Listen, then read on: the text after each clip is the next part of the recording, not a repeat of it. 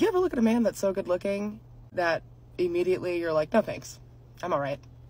Well, not a man, but sometimes I meet someone who uh, displays signs of being not a good long term choice, and then I do it anyway, even though that's not what I wanted. Tiny little graves. But that's only because I did not have a future until last week. I'm responding to this comment. He says this video contradicts my bro science. Jimmy, I hope you don't look the way that you sound. So what is Jimmy Smee talking about? He's saying that this girl is not going for looks, which is an important part of attraction in my model, but what he's forgetting is that I advise women not to end up here, which is exactly what she's doing.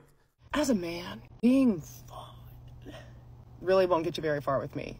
I know exactly what all of that comes with, and I I think I'm alright. It's sad how many problems can be solved by just thinking about what's gonna happen in three months. I might give it a try myself.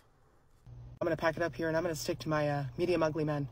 Good luck. I hear they're not very good either. There's a reason that most of you do this.